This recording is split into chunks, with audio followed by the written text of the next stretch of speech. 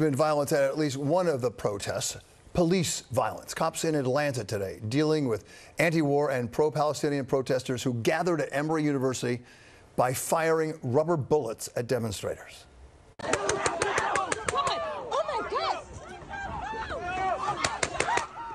Now, according to the university, they say there were no students or staff in the initial protest group, so they were considered trespassers.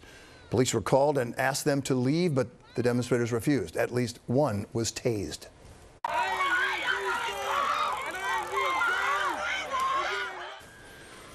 No word yet on the number of arrests or whether anyone is being charged. USC has now canceled its main graduation ceremony because of the protests. The commencement was supposed to take place May 10th. Instead, the school is now planning different activities, including ceremonies for individual schools.